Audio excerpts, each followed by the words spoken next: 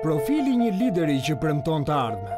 Angazhimi i saj politik ka filluar që në vitin 1991, ku ajo ishte një nga themeluesit e FRESSH.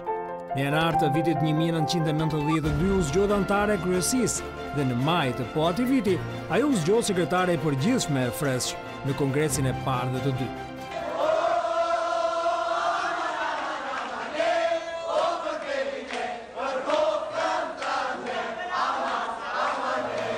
Nga viti një mijë e nëntëqind e nëntëdhjetë e pesë deri në dy mijën, ajo u zgjodh nënkryetare e të Rinjve Socialistë. Monika ishte anëtare e Partisë Socialiste nga dhjetori një mijë e nëntëqind e nëntëdhjetë e një deri në shtator të vitit dy mijë e katër. Gjatë kësaj kohe ajo ishte gjithashtu anëtare e Kuvendit të Shqipërisë nga viti dy mijë e një deri në dy mijë e pesën, si dhe u zgjodh dy herë për Këshillin Bashkiak të Tiranës, për të cilin ajo është zgjedhur sekretare e delegacionit të qeverisë lokale në Këshillin e Europës. Themeluese e LSI-së që prej 6 shtatorit të vitit 2004, inspiruese në vazhdimësinë e partisë, një lidere që të hap zemrën dhe të frymëzon, një ndër organizatoret më të mira dhe me shpirtin motivues. një suport dhe promovuese e rinisë.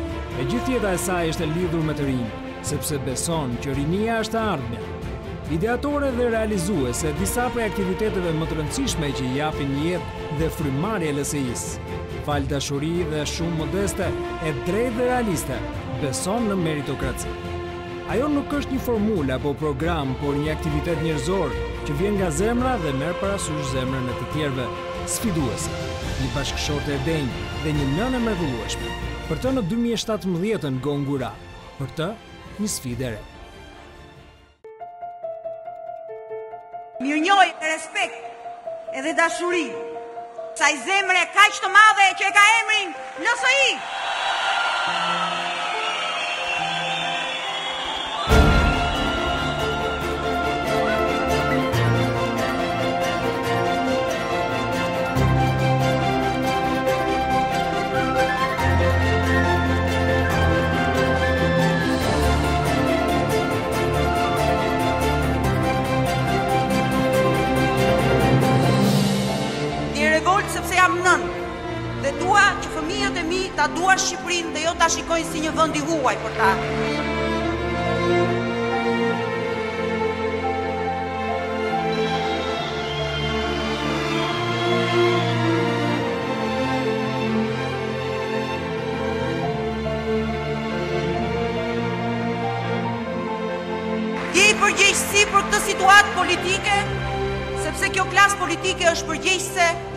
me indiferencën e saj ndaj kapjes së shtetit nga ky grup njerëzish.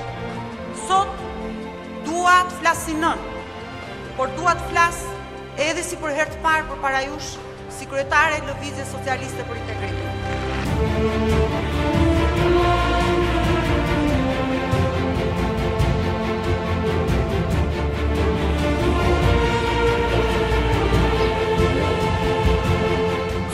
me ju në një rrugë të vështirë, por në një rrugë të drejtë, në një rrugë të cilën e ka bekuar Zoti. Ta shpëtojmë rininë tonë që po ikën sepse nuk ka më takat dhe t'ju japim forcë atyre që nuk kanë. T'ju japim zë nga zëri ynë, t'ju japim zemër nga zemra jonë, t'ju japim forcë nga forca jonë.